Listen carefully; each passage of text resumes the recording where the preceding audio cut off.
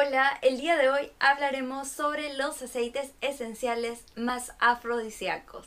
Según la Ayurveda, cada ser humano tiene una sensualidad innata y podemos dejarla florecer con ayuda de los aceites esenciales. Entre ellos tenemos al aceite esencial de rosas, tenemos el aceite esencial de jazmín, de ylang ylang, los aceites esenciales cítricos y también el aceite esencial de salvia esclarea.